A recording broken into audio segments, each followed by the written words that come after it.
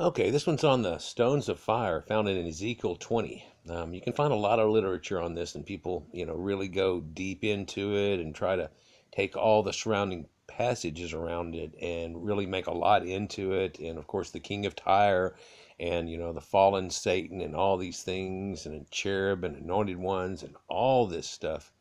And uh, you can see Michael S. Heiser actually go through this long tirade where he never answers the actual question, just like he does quite often. Um, what are the stones of fire? Well, here's your answer. Um, it's an old Canaanite ritual that they used to do. They used to have a lot of fire worship. You're probably aware of that. They had Baal and the big fire pits, and they threw their children into it, and they like to burn everything to death and scorch it to death. It's where the whole sacrifice in the Bible comes from about burning something to death and to singe it all the way up, all the way from Sinai all the way through is all a Canaanite ritual. It has nothing to do with Yahweh or anything. It actually is a stolen Canaanite ritual where they burn things up. They have fires. There's names for the God of fire, and they worship fire. And they make their kids pass through fire. And uh, even if they do not get drawn by lots to be a baby thrown into the fire pit. And what they do is they make them do a ritual of fire walking.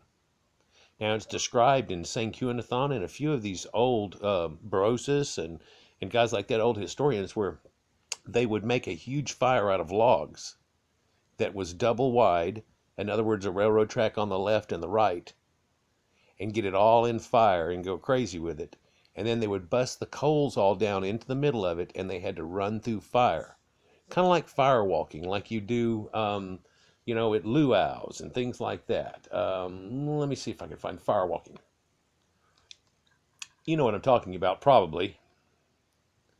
Um, you know, where you have to run through the fire, and if you do it fast enough, and Leidenfrost effect on your feet, and maybe it won't, um, you know, burn you, right? Well, that's what they had to do.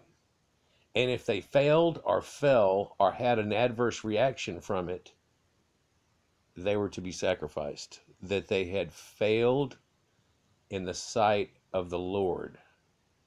And so they had to do this thing that was very much like this, where they run through fire. You had to do a fire walking ritual. Let's look at this. It's like this, where people are walking through fires, right? It was for their fire god and their fire deity that they had. This is the type of rituals it's still enacted today. People still do this stuff. You know, it's found on islands and things like that where people that still worship fire, right? Because fire good. So it comes all the way back from fire good, and fire can be bad, and then harnessing the good out of fire and showing that you're one that can harness the good out of fire and that it won't hurt you. The same way you would hold a snake, and if it didn't bite you, then you were sacred and so they used to do stupid shit like hand kids vipers, and if they got bitten, oh, what the fuck, just throw them into a fire. God said it was a bad juju. You know, but of course we've come way, way past this now, haven't we?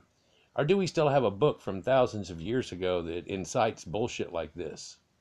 And it actually still incites racism and stuff. Back whenever then, you know, there was all the people warring a little tribe areas trying to get areas established. Now the world's established, so to embrace a book like that is going to really cause us problems over time. And here in America, it's definitely causing problems. Like if you like, sub me. Peace. Fire opals.